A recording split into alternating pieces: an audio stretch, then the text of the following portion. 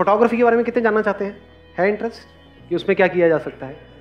Photography का basic सा course अब तो मेरे को नहीं लगता वो भी करने की खास ज़रूरत है, क्योंकि ऑनलाइन बहुत सारे कोर्सेज अवेलेबल हैं। कि एक एसएलआर कैमरा को ऑपरेट कैसे करते हैं? एसएलआर कैमरा आज की डेट में कितने में आ जाता है?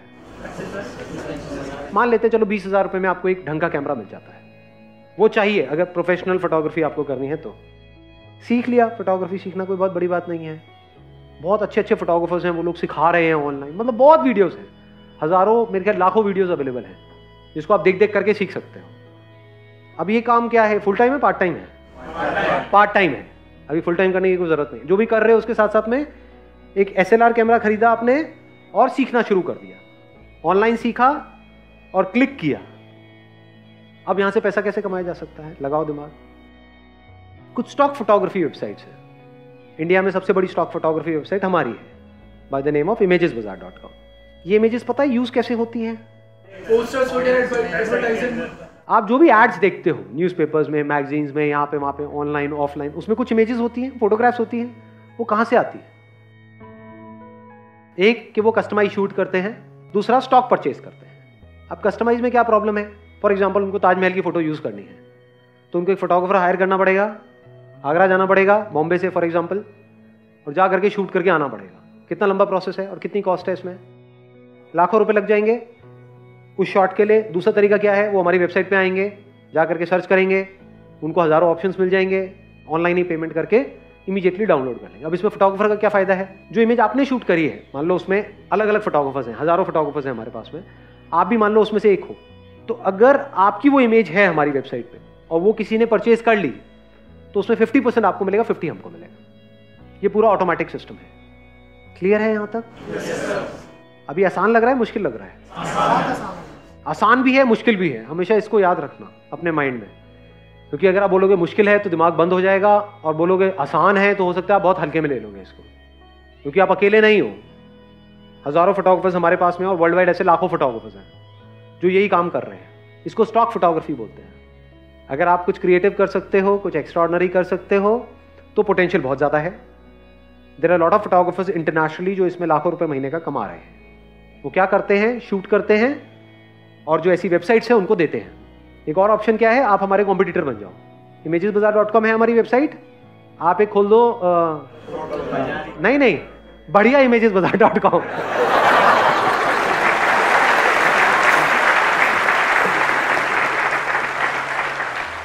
तो हम अपने आप ही घटिया हो गए, है ना?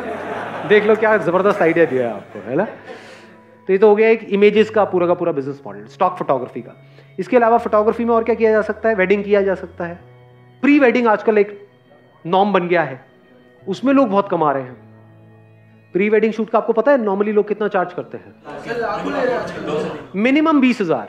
क्योंकि उसमें वहीं पे नहीं होता है वो शूट वो कहीं आपको ले करके जाते हैं। जैसे आप कहीं पे गए, किसी लोकेशन पे गए या कहीं पे गए, वहाँ पे जाकर के शूट हो रहा है। मिनिमम बीस तीस हज़ार रुपए से शुरू होता है और लाखों में जाता है। तो यहाँ पर अच्छी कमाई है। फोटोग्राफी में ऑप्शंस देख लेते हैं ना क्या क्या है। एक प्री वेडिंग है एक वेडिंग है। कस्टमाइज शूट्स कर सकते हो। कस्टमाइज मतलब समझते हो। किसी ने बोला कोई बंदा है वो मान लो अमेजोन के लिए काम करता है। कितने हैं ऐसे जो बंदे जो अमेजोन फ्लिपकार्ट इनके लिए अपने प्रोडक्ट सेल कर रहे हैं? ऐसे कितने लोग हैं? इंडिया में। लाखों लोग हैं। उनकी डिटेल आपको वहाँ से मिल जाती है। प्लस उनको सर्च कर सकते हो उनके नाम से तो उनकी कहीं ना कोई वेबसाइट या कोई ना कोई कॉन्टैक्ट इन्फॉर्मेशन मिलेगी। तो उन लोगों को क्या आप कॉन्टैक्ट करके ये नहीं बोल सकते कि हम एक्सक्लूसिवली जो ये ऑनलाइन अपने प्रोडक्ट सेल करते हैं उनके लिए हम फोटोग्राफी करते हैं। तो उनकी मेहनत बच नहीं गई? Yes, और बोलेंगे एक्स्ट्रा ऑर्डनरी करते हैं। और एक प्रोडक्ट का अगर आपने रीजनेबल भी चार्ज किया तो हज़ारों प्रोडक्ट्स होते हैं हर एक बंदे के।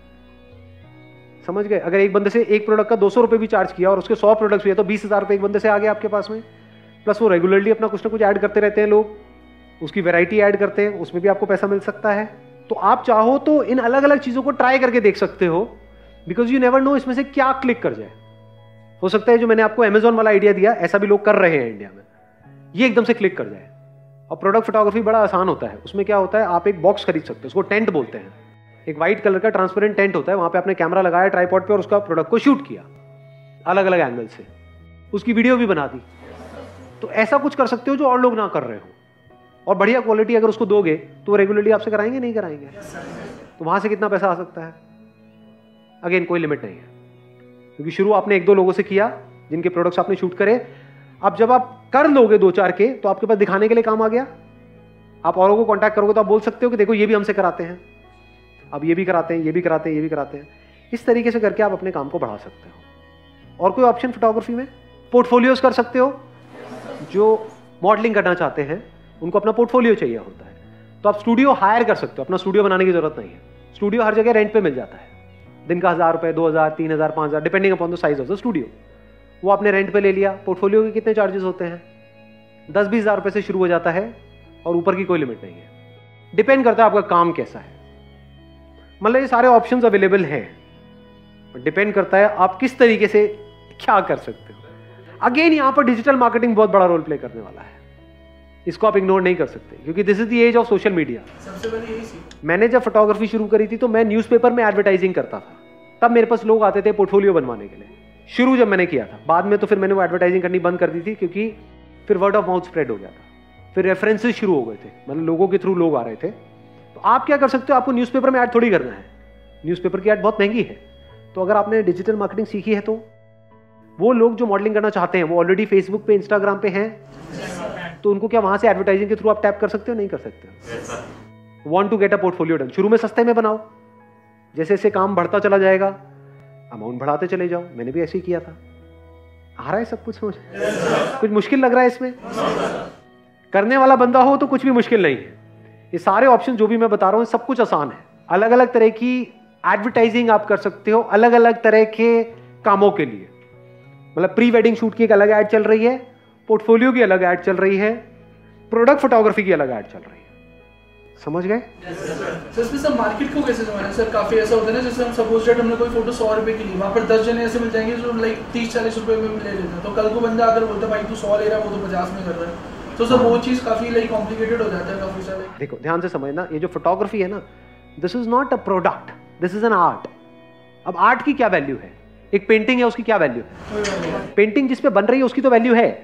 कैनवस इतने का बिकता है, जो स्टैंड है जिस पर, वो स्टैंड इतने का है, इतने का क्यों दे रहे हो, इतने का? पेंटिंग हज़ार रुपए की भी बिकती है और करोड़ों की भी बिकती है। क्या कॉस्ट है वहाँ पर? पेंट की कॉस्ट है। आर्टिस्ट की है। ये डिसाइड कौन करता है, वो कितने की है? आर्टिस्ट डिसाइड करता है। मैं कहता हूँ, मेरी पेंटिंग एक करोड़ की है। लेना है लो, नहीं लेना, मत लो। ऐसे ही। समझ गए मेरी बात? आप चाहे एक मर्सिडीज बेचो, चाहे एक साइकिल बेचो। मेहनत तो बराबर है अलग अलग है? ये बात समझ आई या नहीं आई? अलग अलग है मेहनत। अरे, साइकिल बेचने में ज़्यादा है।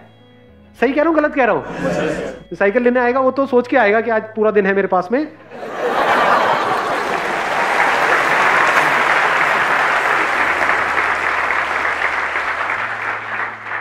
आज तो सौ रुपए का फ़ायदा करके ही जाऊँगा। उसका सौ रुपए का फ़ायदा मतलब आपका सौ रुपए का नुकसान। ये उसका माइंडसेट है। जो मर्सिडीज लेने आ रहा है वो उसके पास अगर आप थोड़ी देर फालतू बैठ गए ना, वो कहेगा, भाई, क्यों मेरा टाइम खराब कर रहे हो? शॉर्ट में बताओ ना, फटाफट बताओ। उसके टाइम की वैल्यू है। अब आपको देखना है, आप किस सेगमेंट में जाना चाहते हो। वहाँ साइकिल बेचने में बीस बीस रुपए मिलेंगे। मर्सिडीज अगर आपने एक भी बेच दी तो लाखों रुपए मिलेंगे। इसको कमीशन बोलते हैं इंसेंटिव बोलते हैं। तो डिपेंड आप पे करता है कि अगर आप फोटोग्राफी कर रहे हो तो आप किस लेवल पे कर रहे हो? हर लेवल पे करने वाले बंदे बैठे हैं। ऐसे बंदे भी हैं जो पाँच सौ रुपए पे काम कर रहे हैं। ऐसे भी हैं जो एक दिन का पाँच लाख ले रहे हैं। आपको देखना है, वो आपकी अपनी विजन है कि आप कहाँ जाना चाहते हो। तो पहले ही अपने माइंड में फिक्स करो कि मैं किस सेगमेंट के लिए काम करने वाला हूँ। हर सेगमेंट में लोग हैं काम कराने वाले, जिस सेगमेंट में आप घुस जाओगे, उसी से रिलेटेड आगे रेफरेंसेस आएँगे। उसी से रिलेटेड नॉलेज आएगी, उसी से रिलेटेड एक्सपीरियंस आएगा, वही आपका लेवल बन के रह जाएगा। शुरू में अगर छोटे लेवल पे आप काम कर भी रहे हो, दिमाग बड़ा रखो। छोटा लेवल है, एक तरीके से सीढ़ी है अगले लेवल पे जाने की। वो एंड नहीं है।